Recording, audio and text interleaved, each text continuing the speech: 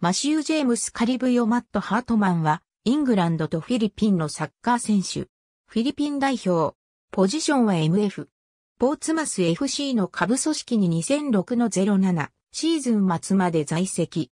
2007年初頭には、ポーツマス U-18 からウェーマス FC にレンタル移籍し、4試合に出場した。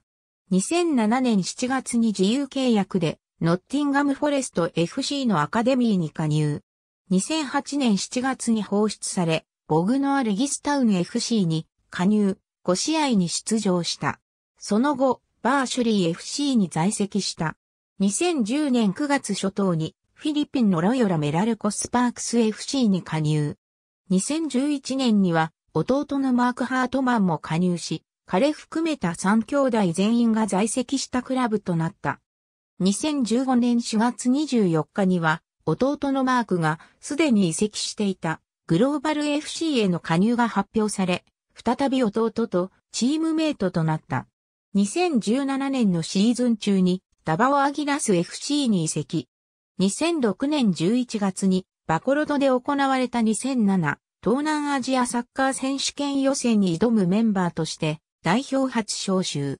第1試合となったラオス代表戦で代表初出場を飾ったが、2から1で敗れた。その後は起用されず、同予選4試合で出場は、この1試合に止まった上、翌年に行われた2007東南アジアサッカー選手権の本戦への出場権を得たフィリピン代表には招集されなかった。2007年始には、ハサナル・ボルキアトロフィーに挑む U-21 代表に招集され、ミャンマー代表、ブルネイ代表戦に出場した。その後は代表からも遠ざかっていたが、2011年9月に行われた代表のトレーニングに招集され、竜東杯2011に挑む20人、U-23 代表が出場する2011年東南アジア競技大会のメンバーにも残った。竜東杯では開幕節となった9月30日の香港代表戦のスターティングメンバーに名を連ねて5年ぶりの代表出場、フル出場をして3から3の引き分けとなった。その後、マカオ代表戦にも出場し3試合中2試合に出場した。